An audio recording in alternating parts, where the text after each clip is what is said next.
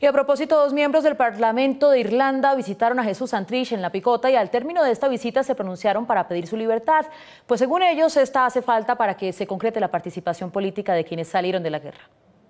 Tras una reunión que sostuvo con el partido político de la FARC y con Jesús Santrich en la cárcel La Picota, un grupo de parlamentarios británicos e irlandeses que pertenecen a la delegación Justice for Colombia expresó su preocupación por las consecuencias que podría traer para el proceso de paz la situación política y judicial de Santrich e Iván Márquez.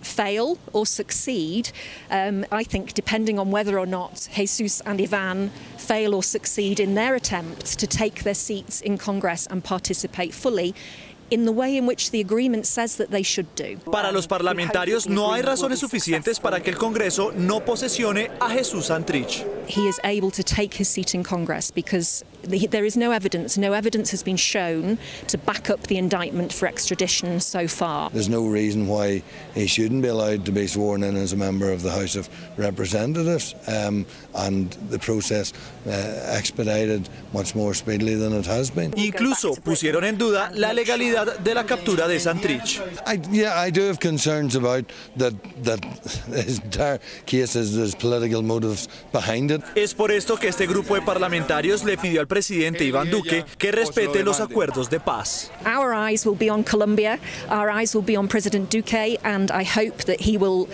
make sure that the peace agreement is fully implemented. And they tend to be a wee bit like jigsaws and you take away one part, it doesn't quite work.